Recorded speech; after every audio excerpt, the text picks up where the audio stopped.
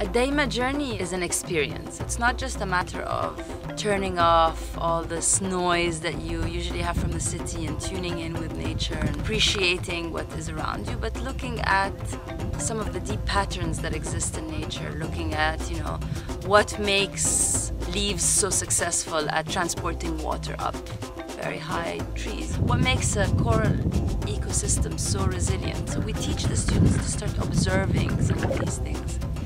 We then take them actually through a very concrete process of what it is to go from looking at the biology of something and translating that into a design, into an architecture or a product. What does it mean to do go through this process to be more sustainable? But it's also a matter of appreciating just some of the things about the natural world. Tend to have tourism that usually comes and just takes from a place. What we want to do is try to give back.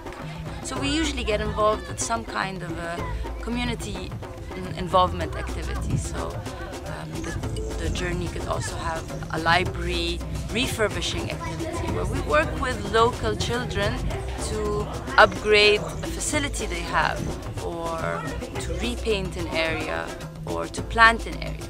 A lot of students come out of these journeys knowing something new about themselves or about their peers and this is incredibly significant so it's just this mix of these three components together that makes these journeys incredibly successful.